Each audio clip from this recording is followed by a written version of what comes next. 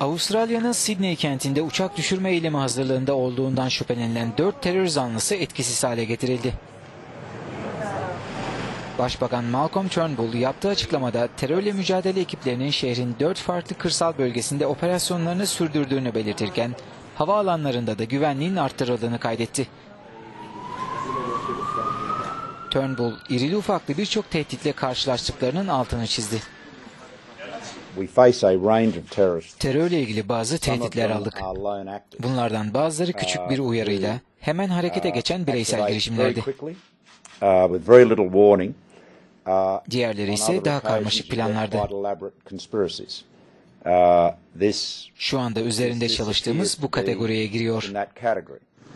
Avustralya'nın göçten sorumlu devlet bakanı geçtiğimiz ay Suriye'de savaşmak için ülkelerinden yaklaşık 100 kişinin ayrıldığını açıklamıştı.